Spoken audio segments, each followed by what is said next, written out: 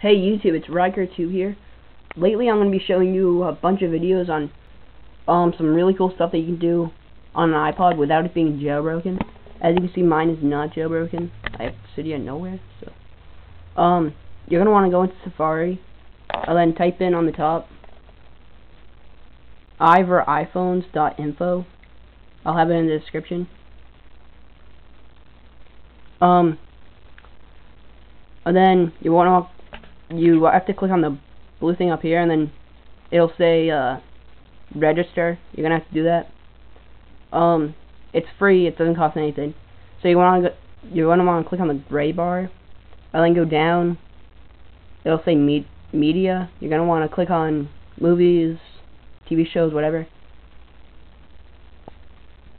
And then to search, you just have to go all the way to the bottom and there'll be a little thing that says search right near it. Um, yeah. I'm just gonna click on Family Guy. It's an amazing show. I hope everyone here watches it. If you don't, watch it right now. Um, I'm just gonna click on a random one.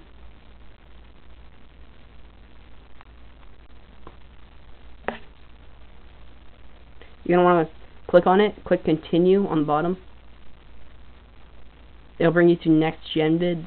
This is a great website too. And then it'll say watch an iPhone. I'm gonna click that. Then it does go in landscape, so that's a good thing. It'll bring you to QuickTime Media Player. And it'll start automatically when it's done buffering. The quality is pretty good.